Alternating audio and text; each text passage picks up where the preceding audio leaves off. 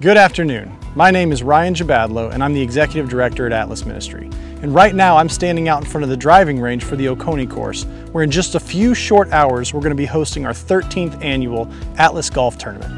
I'd like to start out by saying how excited I am that each of you will be joining us tomorrow.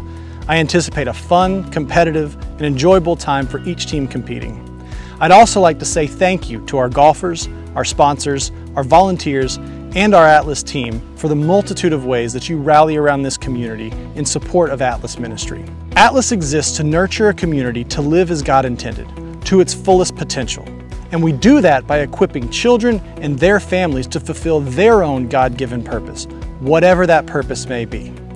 So whether you're a longtime supporter of Atlas or tomorrow's your first experience in supporting Atlas, you're not just supporting a community, you're aligning yourself with a child and their family within this community.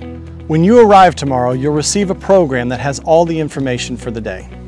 But I'd like to take a second and encourage you to take a moment to read the most important part. Inside each, you'll find an insert with the story of a child that's been impacted and supported by Atlas and by you. You're not just playing golf tomorrow. You're contributing to something much bigger than yourself. And for that, we're eternally grateful. When you arrive tomorrow, come to one of two registration tables to register. You may have some weather to contend with, so be prepared for that.